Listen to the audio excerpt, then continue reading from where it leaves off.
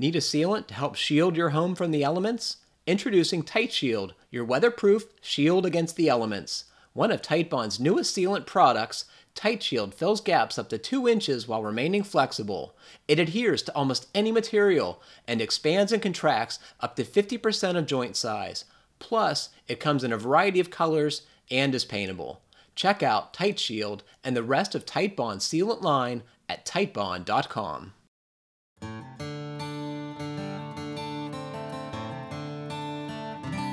again, the first question is can we refrigerate? The second is okay, now that we've created these, how do we make sure that they're working well for our environment and sustainable for our environment?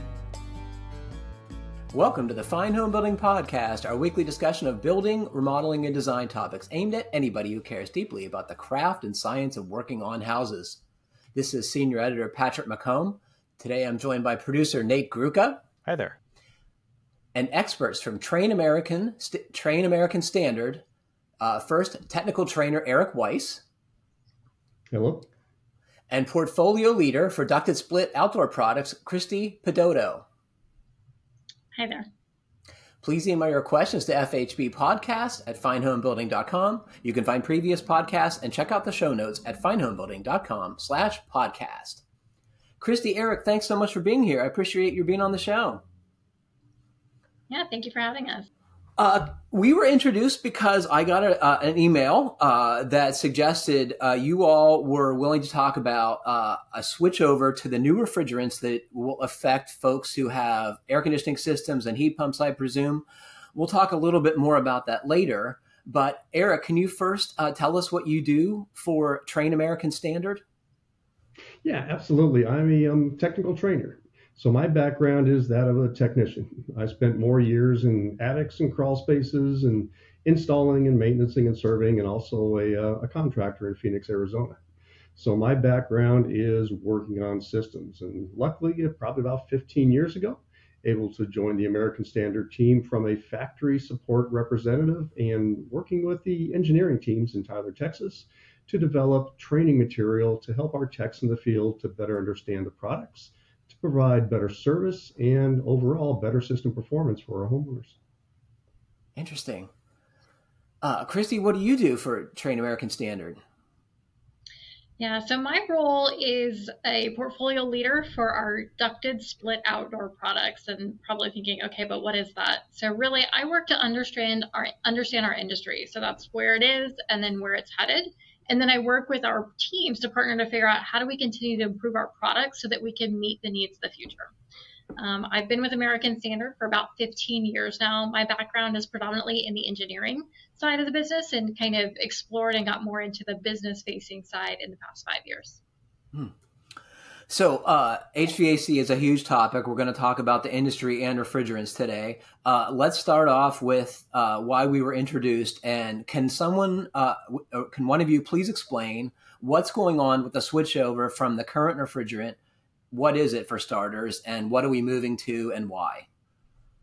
Yeah, I can take that one. Um, so, when we think about what's ahead of us in 2025, so as of January 1st, 2025, um, the EPA is requiring through a technology transition rule that as an industry, we produce and sell products that use a refrigerants with lower global warming potential. Now, the first question would be, okay, where did this come from, right? So we'll back up a little bit in history, and really this is coming from our commitment to the Montreal Protocol and then the Kigali Amendment. So when we think about that, there were two aspects that we're facing today. Um, one of them is looking at the phase down of some refrigerants. So this has to do with our R410A that's predominantly used in industry today. And then the other is to change the technology so that we're using those glo- lower global warming potential refrigerants.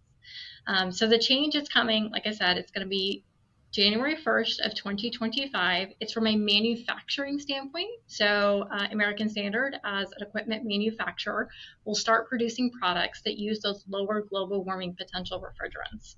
Um, what it does allow for us to do, though, is sell products through. So anything manufactured prior to that January 1st, 2025 date can be sold through and installed. It's a change on the manufacturing side of things. Hmm.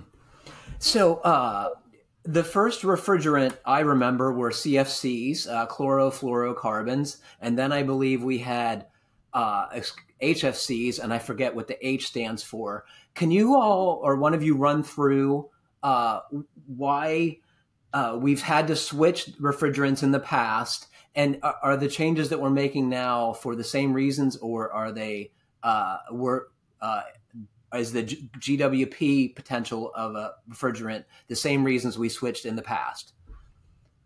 Yeah, so I'll take that one as well. So when we think about refrigeration, refrigeration has been around for an incredibly long time, right? So let's think back to the mid 1800s is when we first started seeing refrigeration. And the first pass at it was really thinking about how do we make it work, right? So the first thing was let's find a fluid, let's find something that will help us uh, create heating or cooling solutions, right? Um, then it came into a next generation of, of refrigerant or products, right, these chemicals that said, how do we make sure that they're safe and stable, right? We want to make sure that things are working well. Um, it wasn't until around 1990, right? So, as I mentioned, the Montreal Protocol, which started to bring in this new factor of environmental stability, right, or sustainability efforts. The first pass of the protocol is what brought in the 1990s the first change that we think about. So, what you mentioned earlier, where we went from R22 to R410A. And that really focused on eliminating ozone depleting chemicals, right? So, that's what drove that particular industry change.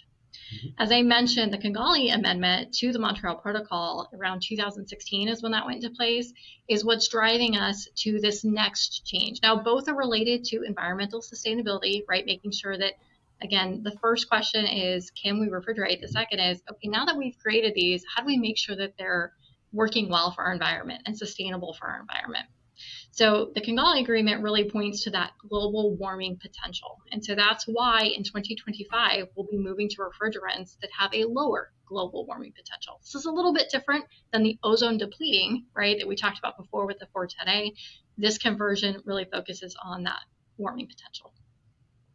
Um, there are, uh, as I understand it, plenty of trade offs when you're choosing a refrigerant. Uh, some are flammable. Uh, some, you know, you mentioned have an environmental impact we don't want. Uh, some that work at higher pressures than others, which make it more challenging. I think you'd agree, Eric, for the technician.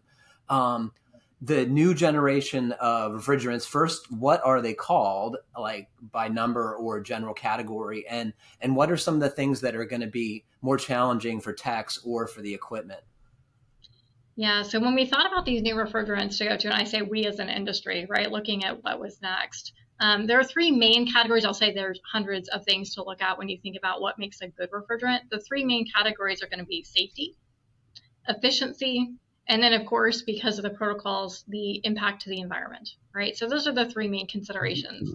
Other considerations are going to be things like chemical stability. Hey, how does it interact with materials, right, that you might use in the construction and use of it?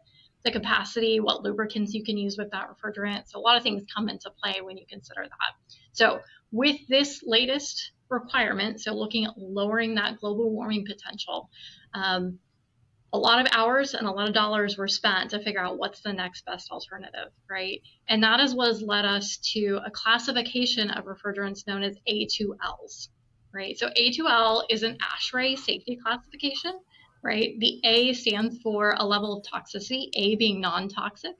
There would be a category B that would be toxic, right? And then the number, numerical value, has to do with the level of flammability. So an A1, as an example, would be non toxic and non flammable. That is the category which R410A, the commonly used refrigerant, falls into today. In order, the trade off that you talked about, to reach that lower global warming potential, the new refrigerants fall in a category we call A2L. So A, again, is non-toxic. Category two is slightly more uh, um, prone to flammability. And then the L is actually a, a, discrete class of that, which is a lower limit. So these are hard to ignite materials, uh, but there is a level, a slight increase in flammability compared to the A1 or non-flammable refrigerants. That's probably one of the major trade-offs, right? When we think about uh, how do we get to that lower global warming potential requirement. Hmm. Uh, one of my colleagues asked me today in preparation of, uh, of our conversation, he said, uh, well, we need new line sets to uh, use these new refrigerants for topping off existing qu- equipment. And my my response was, "You're probably going to need new equipment." Was I was I correct in that uh, assessment, or can you can you retrofit current equipment with the new refrigerants? So I'll take the first part of that and I'm going to hand it to Eric for the line set question. When we talk about the equipment itself, right, the equipment itself, because of the safety standards um, that are required for that level of refrigerant, they do have to be new pieces of equipment. So in order to handle an A2L, right, it has to meet the safety standards for handling that A2L equipment. So there is a change in the equipment itself. There are also slightly different properties of this refrigerant compared to R410, right? So the design of the equipment is going to change minorly when we think about the way the valves are configured or set for this refrigerant versus 410A. From a line set standpoint, I'll hand it over to Eric. He can talk a little bit about those. Okay, thanks, Cristi. Um, most of the line sets, if they need to be reused, probably can be reused. And it's probably not a best field practice, especially if the old system has, you know, mechanical failures such as a, a failure to the compressor. So there can be contaminants, there can be, you know, crud, if you will, acidic conditions within the line set that can dramatically reduce the life of the new system. So it would be a best practice to be able to run new line sets on every installation. Unfortunately, that's not the real world that we live in.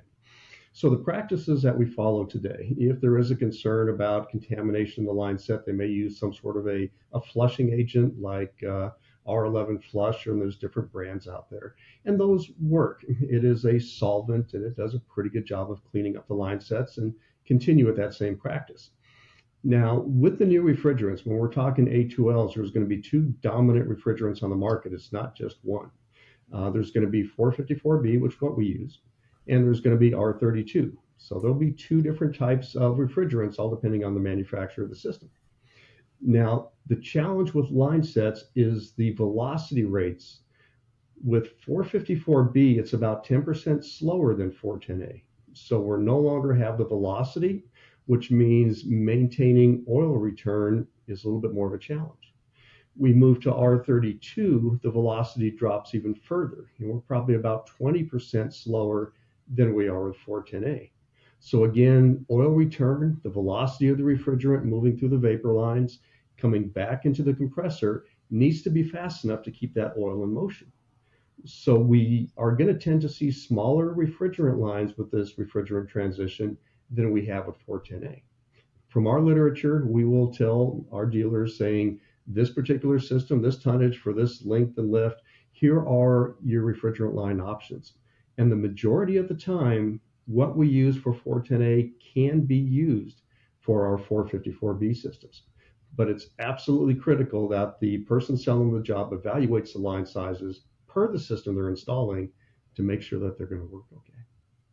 Oh, I love the caveat at the end, Eric. That was fantastic. Uh, so uh, three and five will be uh, still the norm. Is that fair to say for residential systems? On smaller tonnages, typically, yeah, that would work. Now, you're going to find a lot of 5 16ths. 5 16ths is going to be the dominant liquid line, and I think you're going to see that across all manufacturers. The goal, minimize refrigerant charge when possible, and that's one avenue to do so.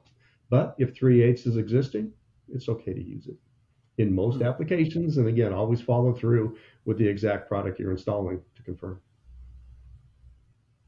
Cristi, uh, I'm guessing that the uh, oil return issues that Eric was talking about are part of why you need different equipment. Is that right? Is that only one of the reasons that you would need to swap the equipment?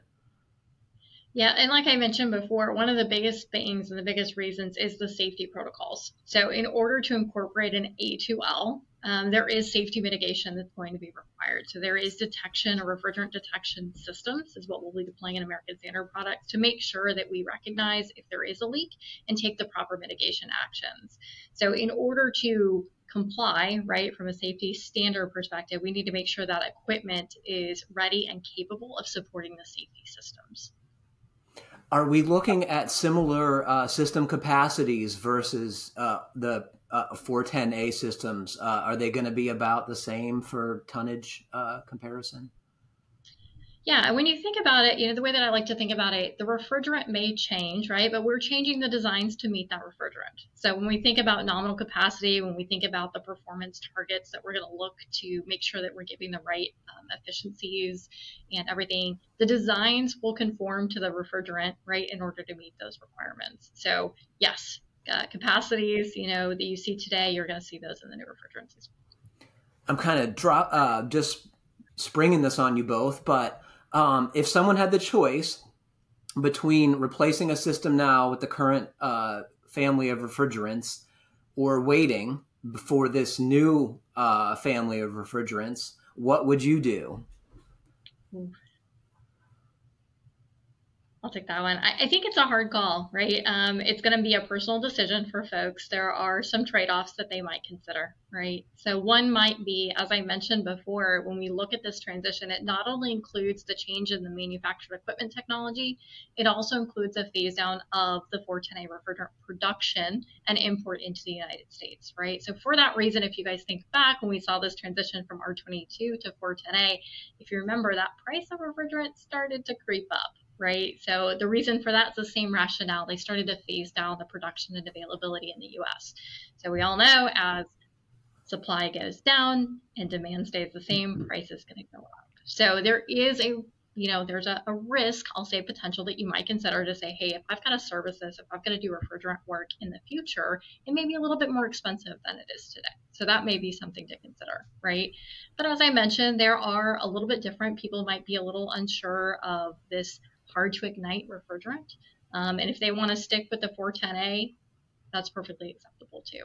So um, just a trade-off that they need to be thinking through. Um, always when you're considering purchasing a new system, there are things that you're going to take into consideration, like the upfront cost of the system versus what the efficiency and comfort improvements you're going to feel along the way with the new system. Hmm. Eric, anything you'd add?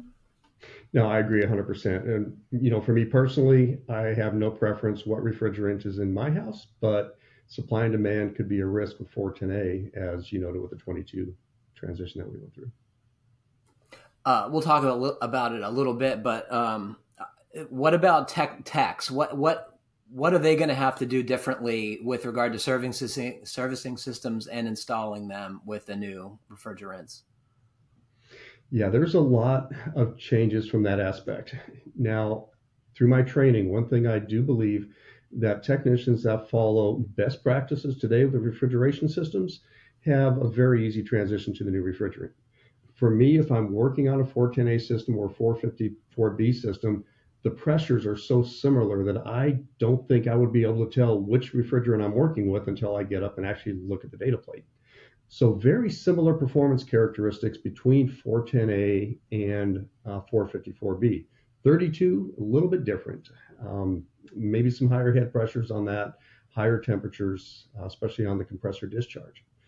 Um, but there are a lot of regulations in place with this new refrigerant. So we have to make sure that the line sets do not have any refrigerant leaks. So we're going to be asking for higher nitrogen pressure tests. So for me installing the system, once I'm ready to go and I want to test for leaks on braze joints or flare fittings or you know pipe press, compression, whatever you're using out there, um, I need to hit it with significant pressures. And I've seen the numbers vary a little bit from one manufacturer to another. And that pressure needs to hold for a full hour. So when I'm pressurizing the line set, I need to find something else to do with my job. Maybe it's time to go wire up the thermostat or find something to do for that time. Once we have confirmed that the pressure holds, now we need to pull a deep vacuum on the system, the evacuation process. You know, before it was always a good policy. Every manufacturer's literature I see has requirements for that. And now it's going to be an industry required standard. So make sure that we can pull a deep vacuum on the system, dry it out. And that also helps to confirm that there are no leaks in the system. So additional steps is to make sure we have a solid line of non-leaking tubing between the indoor and the outdoor unit. And that helps confirm that we should have minimal leaks in the future.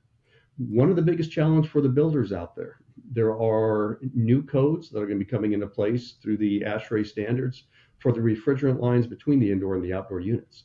So part of the new build that we start running, um, you know, through the wall penetrations, we start going over trusses we can no longer just rest the refrigerant lines on the tubing, which we have done in the past.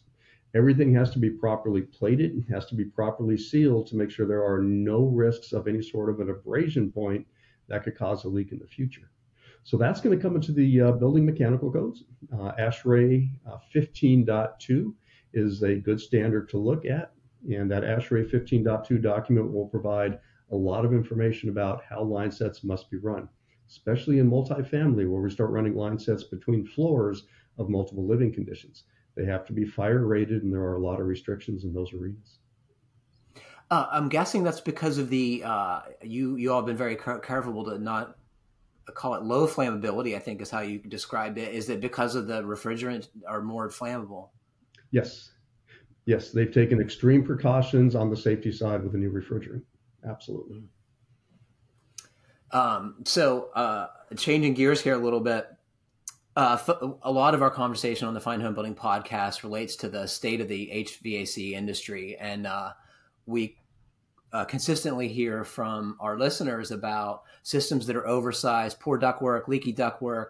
I'm sure you all have heard the complaints too. Um, what do you think about these complaints that seem so regular uh, and the seemingly uh, insurmountable problem of oversizing equipment? Uh, Eric, do you want to go first?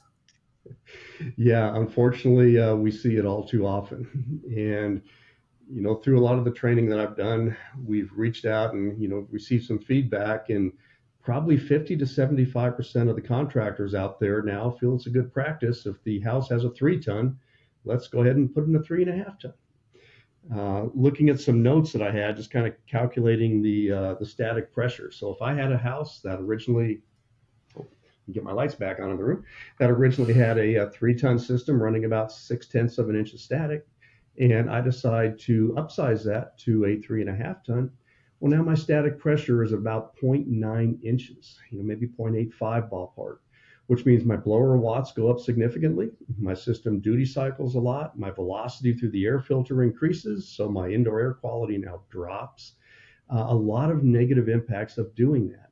And if another contractor comes back behind, you know, that original upsize and says, well, we'll bump you up another half a ton. Well, now I'm up at about 1.2 inches. And we see premature motor failures and we see flooding and premature failures of the compressor and all these degradations to system performance.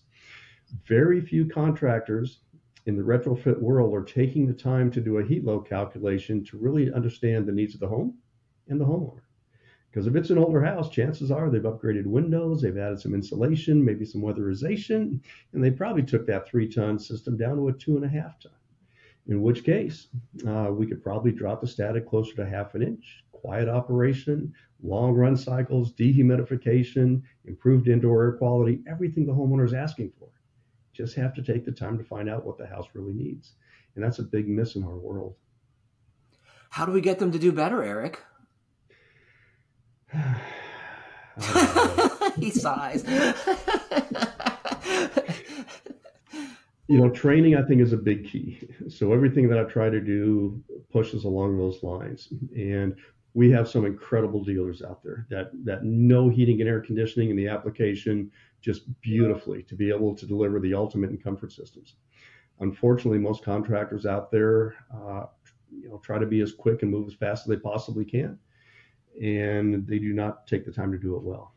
The only places where I have seen success is where states start to mandate this with their codes. If you want to install a new system and get a permit, you need to turn in a heat load calculation and system sizing performance to us. Now, does it mean it's accurate? No, but at least it means that somebody had to put forth some effort. And hopefully, if they're putting forth the effort, they're doing some diligence to do it right. Uh, Cristi, this one's for you. So I think one of the things that HVAC techs would say is the uh, you know equipment is way more complicated. Uh, the controls are way more complicated. It makes it more difficult for us to do our jobs. How, how would you respond to an HVAC tech who said that to you? Um, I would say think about the car industry, right? Think about the cars. In order to be more efficient and more effective, right, it takes technology, it takes innovation and we're going to keep getting better. We're going to keep becoming more efficient. This is what we need to do to support our customers, right? Um, what we can do is just because that technology is in there doesn't mean it has to be complicated. So don't be intimidated, right? Um, it is available to you. We are thinking of ways how do you service this, how do you maintain it. Um, that is in mind. So just because it's inherent, just because it has that new technology, don't assume that it's complicated, right? There are ways that we can work to make that simpler for the technician. Eric, I don't know if there's anything you would add. You do a lot of training in this space.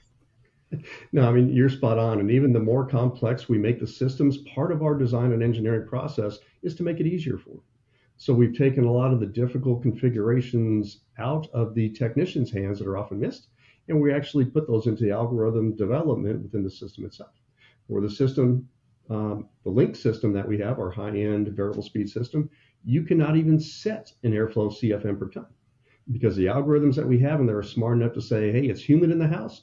I need to run at a certain condition with lower airflow and higher compressor speed, or hey, the house is dry, we're comfortable, and we can actually flop and run higher airflow, lower compressor speed to really maximize the efficiency of the system.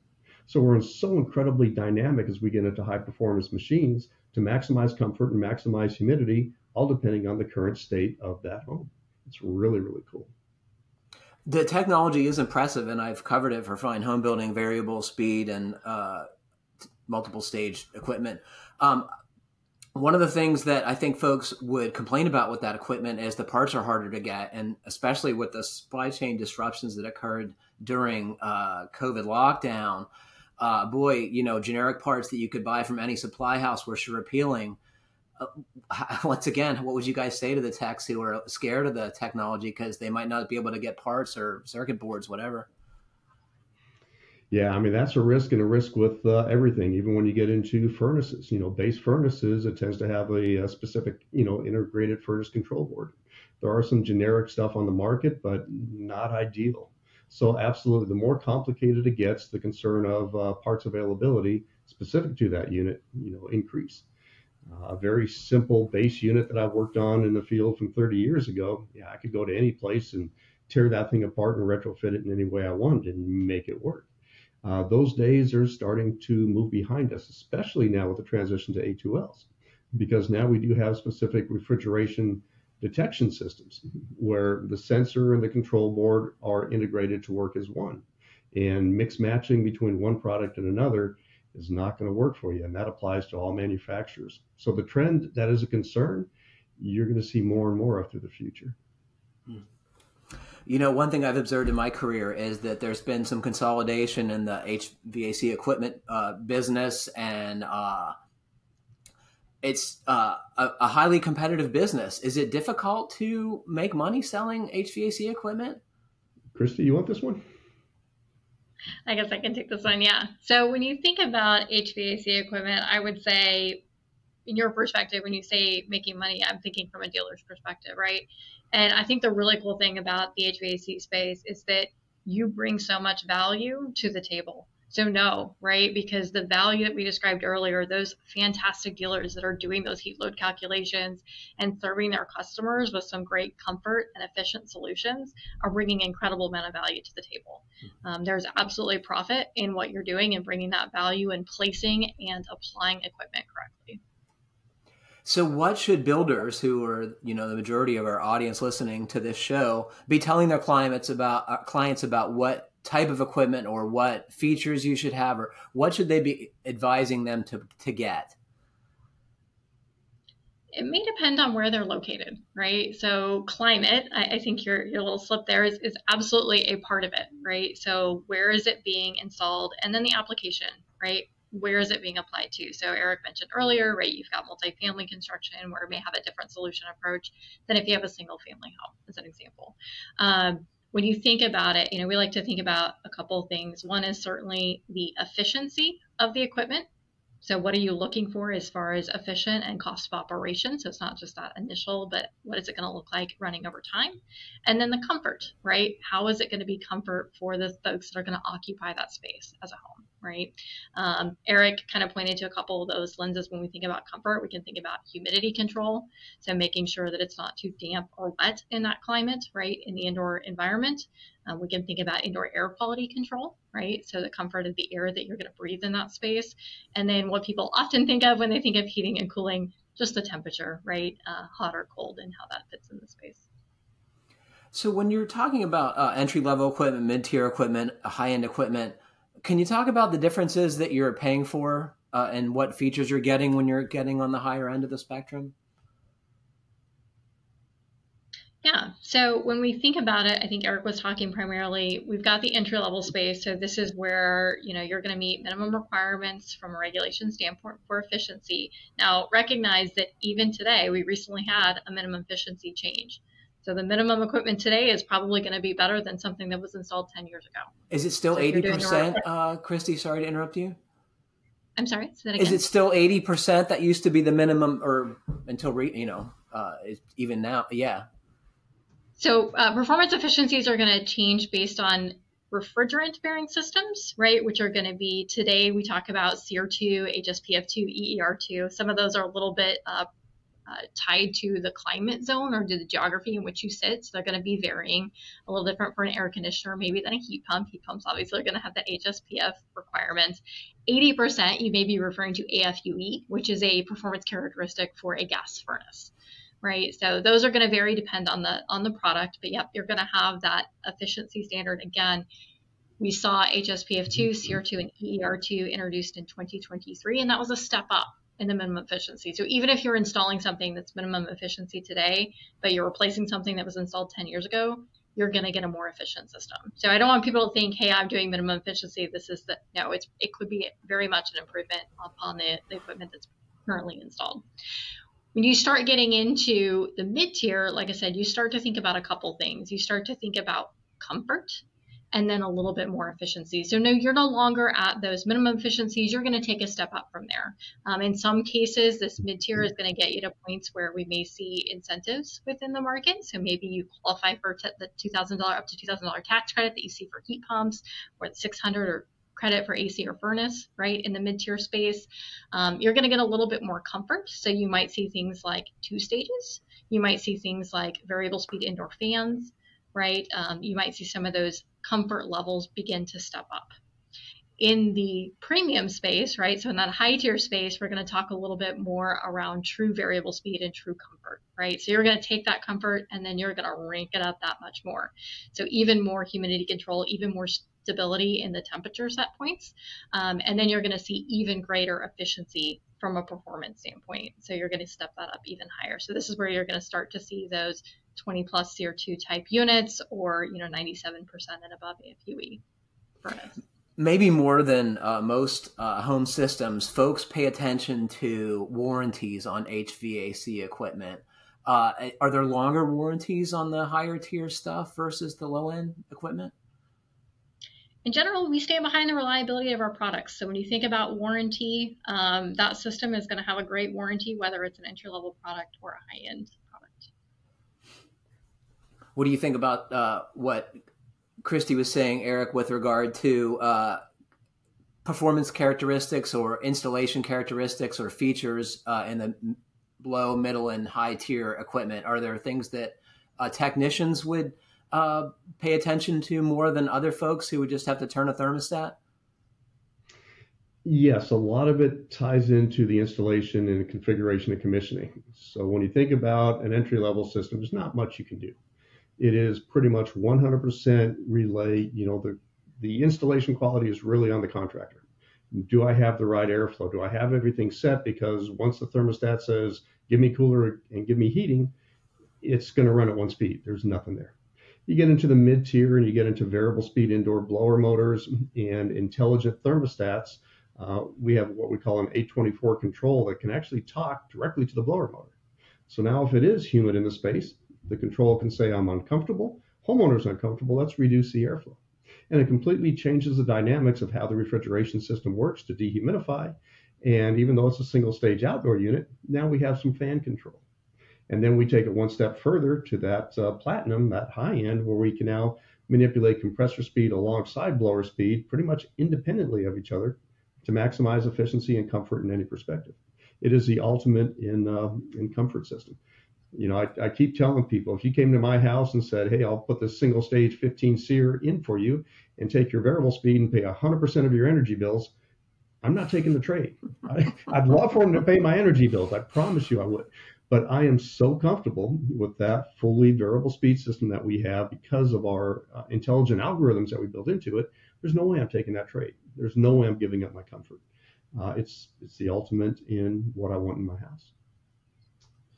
Eric, one of the things that uh, folks uh, challenge us on the podcast about is that we tell folks not to put ductwork in unconditioned spaces. Uh, I'm sure you'd tell folks the same thing. The folks who live in the southern half of the US, though, say, we don't have anywhere else to put ductwork excepting in the attic. Um, what what do you do? Do you just do as best you can and keep it in the attic, or do you build chases? Uh, what do we do? Yeah, I wouldn't go to the point of building chases, but if it is in non-conditioned spaces, whether it's attic or crawl, right? Crawl is going to be cooler, but it's also going to have an incredible amount of moisture. So sealing the ducts is most important. That is step one. And if we have access and we are concerned about the performance, overall performance of the system, then let's try to get uh, you know R8 in there. Let's rip out that old R4.2 duct and let's run some new ducting and make sure it's sealed in the process. And if we can seal it and we can increase the uh, duct installation, then the dynamics of the, the penalty are, are greatly diminished. We've probably taken, you know, a poor duct system might increase the load on the system by 25, 30%. And we can probably take that back down to maybe around 5% or 7%, where the penalty is now going to be fairly, uh, fairly small. But again, it goes back into the quality of the material, the higher insulation, uh, and also being in the Southern Territory, that will also help minimize duct condensate or duct sweat. And sealing up the duct systems greatly reduces the infiltration of the home, which is going to make the home more efficient. Um, I think you'd agree that uh, technicians and HVAC companies are unlikely to uh, do pressure testing uh, unless they are required to demonstrate a certain degree of tightness. Um, not every place has these tightness uh, requirements. Even the places that do, uh, enforcement is very hit or miss. I think you'd agree. What can a builder or remodeler do to incentivize or require or make their HVAC techs do a good job running ductwork and sealing it correctly? Well, probably one of the drawbacks if we get into testing means the cost of the house just went up. We now have another contractor that needs to come in, and the original contractor doing the work has to be more thorough, more time, labor intensive uh, to do it correctly. So, step one, the builder is going to have to pay more for the house to be done properly, which is sometimes a hard sell probably rather take that and put it into a granite countertop or different lighting.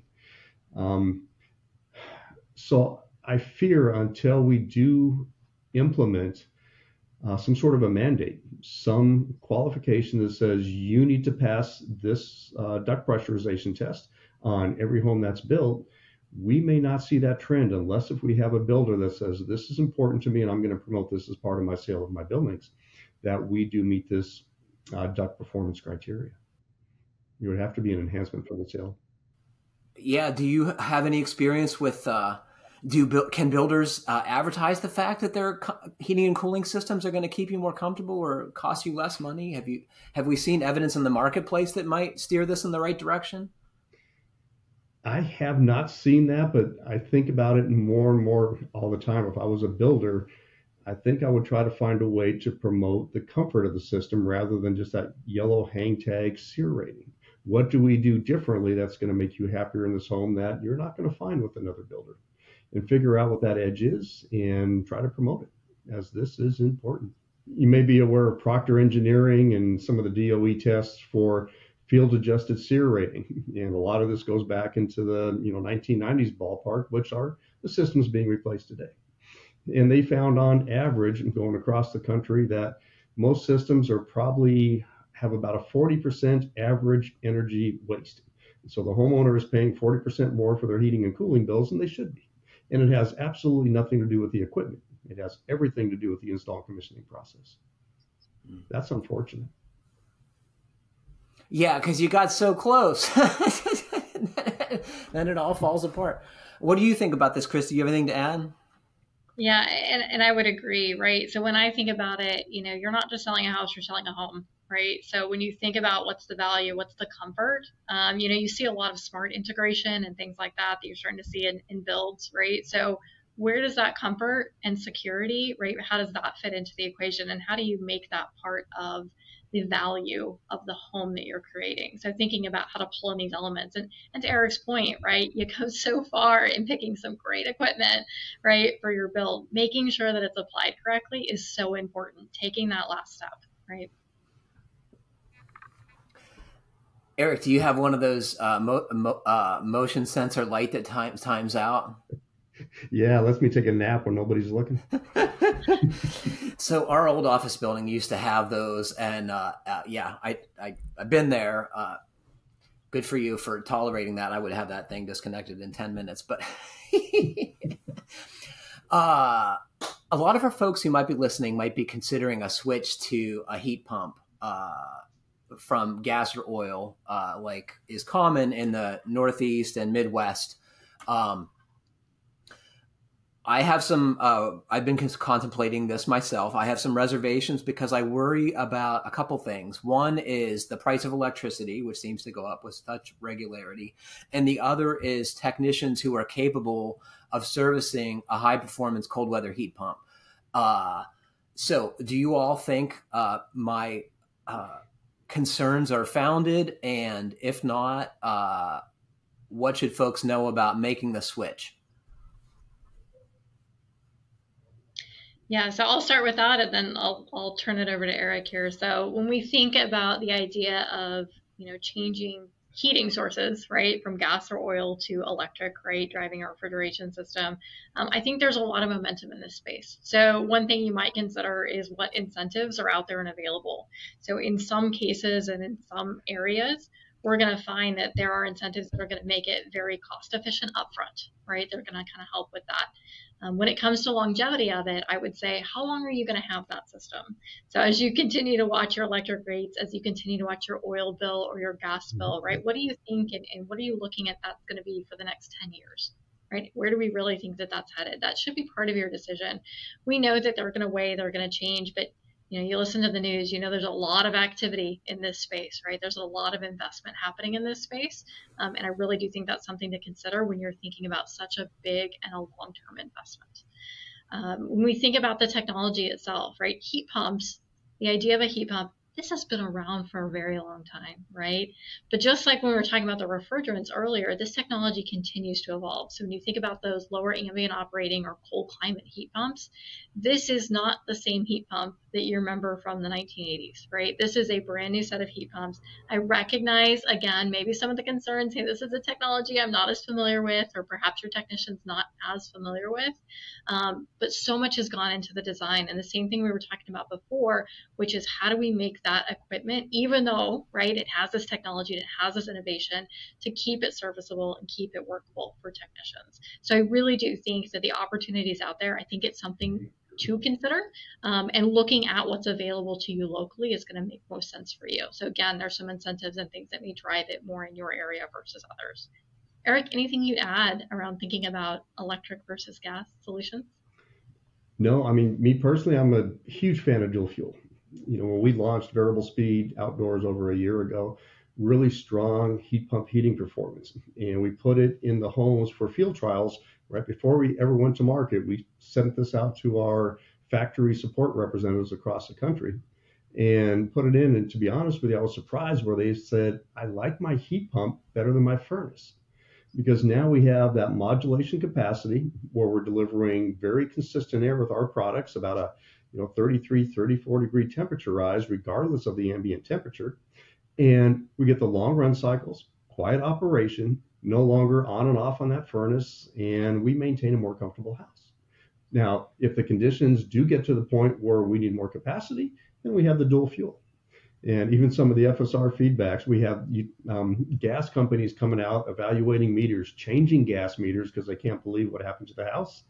Um, heading up into Ohio a couple years ago, one of the FSRs said they dropped their uh, cubic feet rate from 52 CCF to 5 CCF.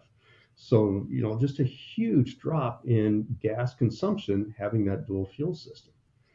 Uh, so it's really the best of both worlds. Eric, why go with a heat pump and a gas furnace versus a, a, conventional air conditioner and a gas furnace? I'm guessing it would be significantly less money. Uh, to be honest with you, I don't know where that would fall in, especially when you get into specifically the cold climate type heat pumps. Uh, so yeah, adding a furnace may be a little bit more costly. Uh, Patrick, you and I are probably in agreement that it would be really nice to have multiple fuel options within a house for heat. Um, you know, whether it's going to be a stove or a furnace or a heat pump, whatever the case may be, especially in cold climates. So for me, that gives me also some peace of mind, right? On top of everything else. But the cold climate technology today that's improving, uh, heat pumps are going to do a pretty decent job of maintaining indoor temperature. Now, there is application challenges there as well. I mean, even the ductless system. We talked about duct systems being an issue, but if we get into ductless systems, we also have line sets to consider. And long runs of refrigerant line sets through very cold, non-conditioned spaces can have a tremendous negative penalty hit to the ductless type products where we have mm. three or four different indoor units and 60, 70 feet of line sets running outside at five degrees in temperature. So now we got this refrigerant that leaves our unit at 160 degrees running through 3 eighths insulation on that refrigerant line for 150 feet and our capacity and our efficiency and our system performance really has degradation. So no matter what product's being installed, application is key. Uh, there's been some complaints in the, uh, especially the high performance building industry, that American equipment has not kept pace with uh, the Japanese and Korean manufacturers, Chinese manufacturers now too, with regard to making uh, high performance uh, mini or uh, multi-split or ducted mini split technology. Do you think we're catching up? Are we getting there? Um, do we have products that work in temperatures as low as uh, Mitsubishi or one of the other manufacturers? So um, when we think about what's out there on the market, right? I like I said, I think this is an evolving technology. We have seen it. I'll say more so in this ductless space, where you're seeing, um, you know, single zone or multi-zone mini splits. Um, I do think that that technology is only on the cusp. So if we think about there's a DOE cold climate heat pump challenge, I will say the majority of all American OEMs are participating in that. This is not dominated by, I'll say, the Asian manufacturers in that zone. So um, maybe you're not seeing it predominantly. I don't think we had as much incentive out there, but we're starting to see a lot of incentives, right, come to play for this type of technology and this type of solution. And it is driving activity in this space. So it is absolutely part of the the roadmaps. It's absolutely something that's coming, and there's evidence out there of it. Cristi, did you want to tell us uh, anything else that you see on the horizon with regard to HVAC technology? I think, you know, we've seen it coming a long way. So we've talked about earlier, you know, the progression of, of changes in refrigerant, but we see it too in the innovation, the technology, and you start to see that more at this high end space. So the things that Eric has talked about, highlighted in our, you know, our platinum our premium products, you really start to see that continue to dive into, I'll say, the more mainstream. So when you think about the trends out there, we're seeing a lot more digital engagement. Um, so how do we make sure that we're connecting to those systems? We know more about how they're operating. How are we getting smarter with our algorithms or our controls to drive comfort for customers? And behind that is a whole ton of technology, right? That says, okay, in order to do that, how are we going to solve that problem? So that's where you see a little bit more, right, in the electronics that you start to see in equipment, also within um, variable speed or multi speed type technologies, whether that be in compression or in fans. So definitely seeing this industry, it may not be rocketing out, um, but a lot of progress in this industry, at least in the 15 years that I've been here. And I know there's a lot more to come. Uh, another thing that comes to mind is indoor air, air, quality seems to have become a much bigger thing since the COVID 19 outbreak, right? Uh, and I mm-hmm. think you'd agree that uh, we haven't taken advantage of the capabilities with HVAC systems in homes to help purify our air. Do you see that getting better too? Yeah, I do think there's a lot more interest, right? There's a lot more, again, when we think about it, it's not just that hang tag on the unit that tells us the performance from an energy efficiency standpoint. We're seeing a lot more interest in the quality of the comfort. So that quality could be the air quality, a lot more infiltration, ventilation, right? We talked about a little bit dehumidification, so whether that's done with the equipment or a secondary piece.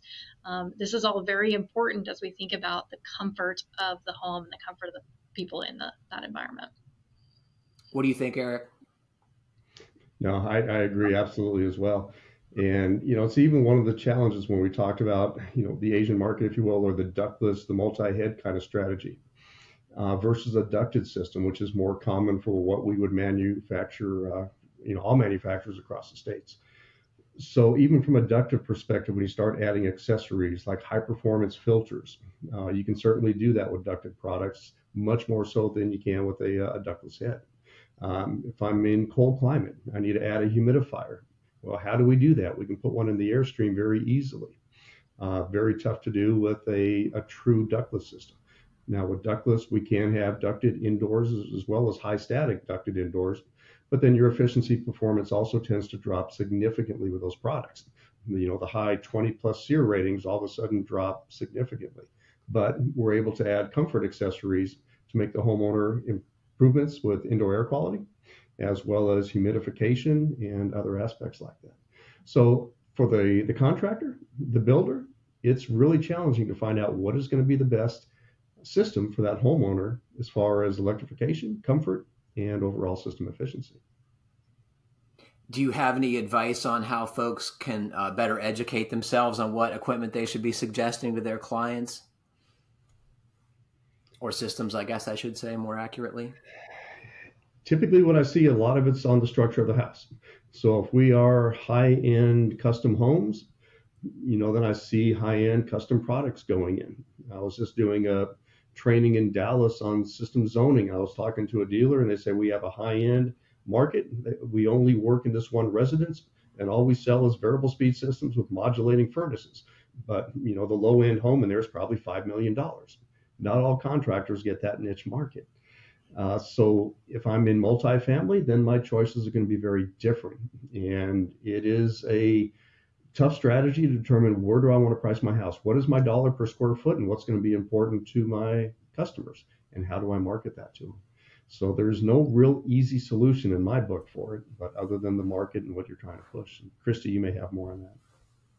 Yeah, and I think the only thing I'd add is, you know, when we think about the HVAC system of the home, right? It's another system in the home. So hopefully it meets the qualification that you're searching for. So if we're doing that high end, we're taking into consideration what type of equipment we're putting in um, to meet that high end customer's need, right?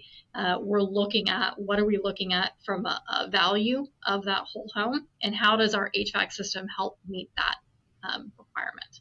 So I do think there's a, a piece of it that says just make sure that the selection that we do for HVAC fits the intent. Well, it has been a pleasure talking to you both, and I hope our listeners who have uh, further questions uh, will write to the podcast email box, and I'll forward them along, and you guys would weigh in. I hope. See what we can do. All right. Um, is there anything you want to ask or tell our listeners before we go today, Eric or Cristi? I think the only thing I'd leave us with is, you know, we talked a lot today about the upcoming refrigerant change. If you want to learn more, this is brought to us by the EPA, so check out epa.org or .gov. Uh, make sure that, I mean, that's your resource. Go to the source, right? Would be my first recommendation. Um, and we've talked about a lot of great products. If you're interested in American Standard, please check out AmericanStandardAir.com. If you want to see what we have to say about refrigerants, just do a quick search for GWP, and you'll find more information about the refrigerants and our perspective. What do you think, Eric? No, I agree. One of the other challenges with the new refrigerant transition is through this next year and probably through 2025, you're probably going to see a lot of or some conflicting information between different manufacturers and even how UL Underwriter Laboratories is kind of rolling out. So if you think about a home build, once that home is done, you have an inspector come out. Whatever city that's going to be in, someone's coming out with a code and a rule book, and they're going to say, okay, th- you know, this needs to be done. And the builder is hoping for Inspector A and not Inspector B. And that kind of happens on the national level as well. So you're probably going to find some different manufacturers that had Inspector A and other manufacturers that had Inspector B, and we're not all quite on the exact same line as far as what the UL requirements are going to be. So anticipate, you know, whatever manufacturer is being used out there that you may see some differences and you may see some changes as we roll into this new A2L refrigerants over the next two year for requirements. I can guess that manufacturers have some uh, guidance on changes uh, as far as installation requirements forthcoming. And uh, I would always remind folks you need to go to the individual specific who made the equipment, right? You can't, it's not a pick and choose, right? You have to do what they tell you. There's no rule of thumb out there. Absolutely right. Yeah, agreed. Go to the source. Always go to the source. Well, unfortunately, that is all the time we have today. Thanks to Cristi, Eric, and Nate for joining me, and thanks to all of you for listening. I hope you'll send us your follow up questions for Cristi and Eric, and we'll pass those along for their answers. Uh, send those and your other building related questions and feedback and suggestions to fhbpodcast at finehomebuilding.com. And please like, comment, or review us however you're listening. That helps other folks find the podcast. Stay safe, everybody. Keep craft alive. Check out those new refrigerants. They're going to be big.